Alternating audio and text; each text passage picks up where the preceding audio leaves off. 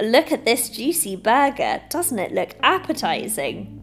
It has so many good things in it that my body needs protein and fats in the meat and cheese, carbohydrates in the bun, vitamins, minerals, and fibre in the salad. But how can I use them? I need to get them into my blood, and this burger is never going to fit. That's where digestion comes in. Digestion is the process of breaking down food to make it soluble in the blood. You can digest food in two ways mechanically and chemically. When I put this burger in my mouth, I do both types of digestion. My mouth breaks it down mechanically using my teeth. This mashes up the food into smaller pieces.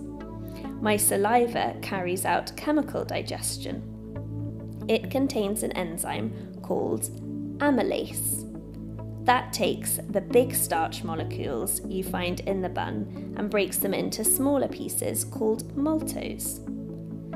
However, this is just the beginning of the digestive journey, and a lot more needs to happen before this burger is going to be small enough to be absorbed into the blood and taken around to all my hungry cells that need the nutrients. The next stage of digestion are summarised in the next videos of the journey.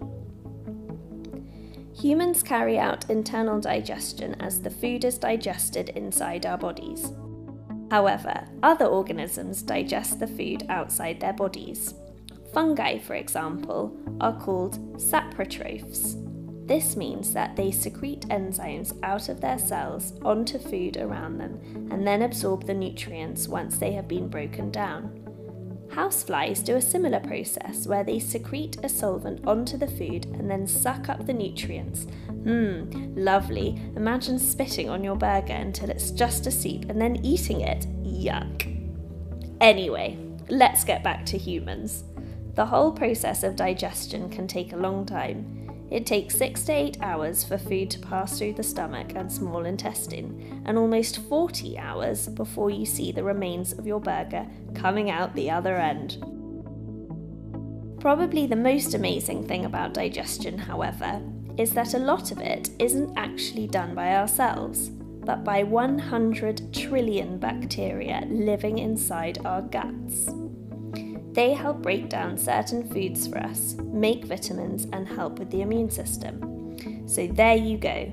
With the crushing, some enzymes, and some friendly bacteria, you can turn this juicy burger into small soluble molecules that can be carried around in the blood.